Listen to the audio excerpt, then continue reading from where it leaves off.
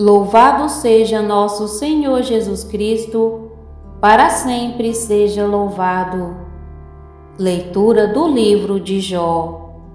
Jó respondeu a seus amigos e disse: Sei muito bem que é assim. Como poderia o homem ser justo diante de Deus? Se quisesse disputar com ele, entre mil razões não haverá uma para rebatê-lo.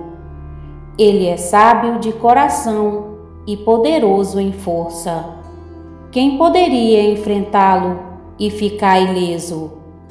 Ele desloca as montanhas sem que elas percebam e as derruba em sua cólera. Ele abala a terra em suas bases e suas colunas vacilam.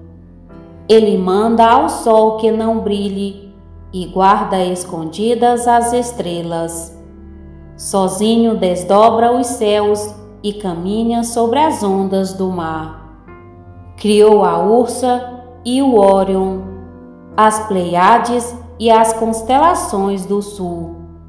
Faz prodígios insondáveis maravilhas sem conta.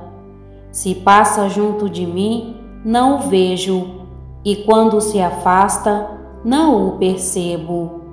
Se ele apanha uma presa, quem ousa impedi-lo? Quem pode dizer-lhe o que está fazendo? Quem sou eu para replicar-lhe e contra ele escolher meus argumentos?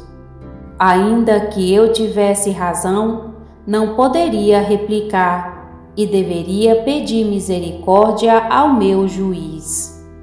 Se eu clamasse e ele me respondesse, não creio que daria atenção à minha voz.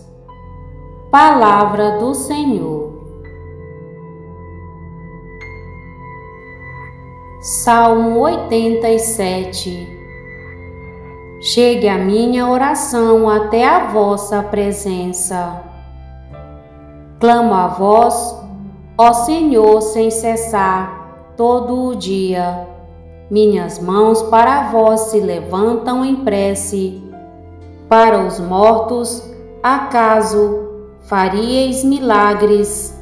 Poderiam as sombras erguer-se e louvar-vos chegue a minha oração até a vossa presença.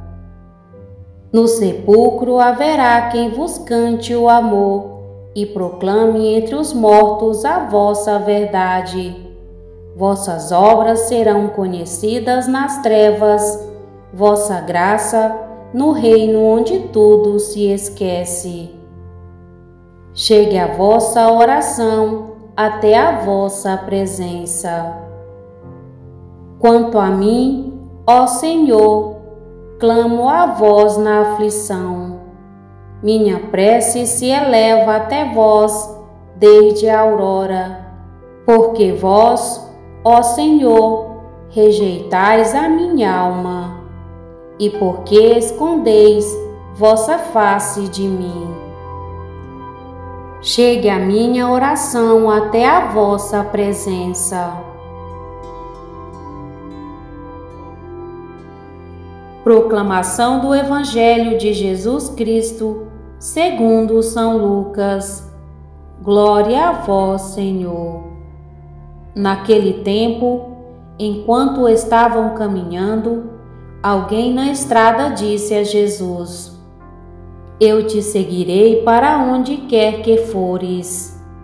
Jesus lhe respondeu: As raposas têm tocas e os pássaros têm ninhos, mas o filho do homem não tem onde repousar a cabeça. Jesus disse a outro: Segue-me. Este respondeu: Deixa-me primeiro ir enterrar meu pai. Jesus respondeu: Deixa que os mortos enterrem os seus mortos. Mas tu vai anunciar o reino de Deus. Um outro ainda lhe disse: Eu te seguirei, Senhor, mas deixa-me primeiro despedir-me dos meus familiares. Jesus Porém, respondeu-lhe: Quem põe a mão no arado e olha para trás, não está apto para o reino de Deus. Palavra da Salvação. Jesus chamou a quem quis para ficar com ele e, depois, os enviou a evangelizar. Assim, Marcos descreve a escolha dos primeiros discípulos. Na escolha dos apóstolos, uma condição marcante é a disponibilidade.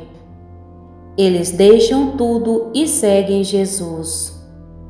O seguimento de Jesus não admite meio-termo. Um dos chamados pediu tempo para enterrar o pai. Era dever do filho primogênito providenciar o sepultamento do pai quando a morte acontecesse. Antes disso, deveria cuidar do seu bem-estar. Era uma resposta a longo prazo. Despedir-se da família era também uma desculpa para não comprometer-se no momento. Em outro lugar, Jesus fala do mercador que vendeu tudo para comprar uma pérola preciosa. Esta pérola o fez feliz. Proposta do dia: cuidar das desculpas oportunistas que apresentamos. Em nome do Pai, do Filho e do Espírito Santo. Amém. Ajude-nos a evangelizar. Se inscreva em nosso canal, ative o sininho, dê o joinha em nosso vídeo e compartilhe.